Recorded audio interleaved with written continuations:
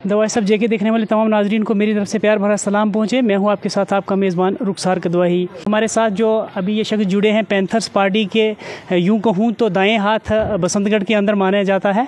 हमारे साथ पवन रासल जी मौजूद हैं। पैंथर्स पार्टी को जो अभी नया सैम्बल मिला है ट्रक, क्या कहना चाहोगे उसके बारे में आप? कैसा सैम्बल रहा आप? कैसे अप्रिशिएट करना चाहोगे उसको? देखिए, जो जो डिस्प्यूट पड़ा था एक पैंथर्स पार्टी के अंदर, वो आज ख़त्म हो चुका है। हर्षदेव द्वारा एक प्रेस कॉन्फ्रेंस भी की गई है, जिसमें पैंथर्स पार्टी इंडिया नाम रखा गया है और ट्रक जो है सिंबल जो मिला है तो हम पूरा प्रयास करेंगे पूरी कोशिश करेंगे उसको घर घर तक लेने की और आने वाले समय में जो असम्बली का चुनाव होगा उसमें पैंथर्स पार्टी की पूरे तरीके से जीत होगी। डिस्ट्रिक्ट उधमपुर के अंदर हम चार ही चार कंस्टिट्यूंसी के अंदर पूरे तरीके से मेहनत करेंगे और अपने उम्मीदवार जो होंगे उनको जिता के असम्बली के अंदर भेजेंगे।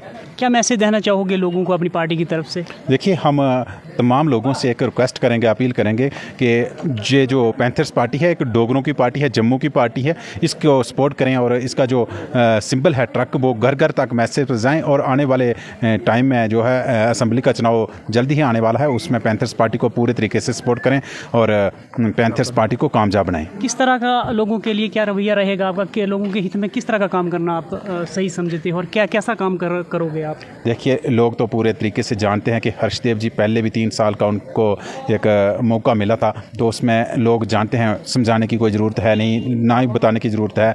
तो लोग सभी जानते हैं कि हर्षदेव जी ने कैसे काम किया है, क्या काम किया है।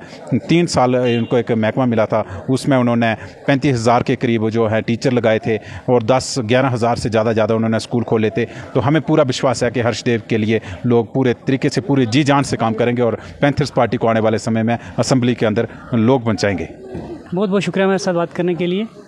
तो बने रहिए हमारे चैनल के साथ वीडियो को ज़्यादा से ज़्यादा शेयर करें। हमें दीजिए इजाज़त। अल्लाह हाफिज़।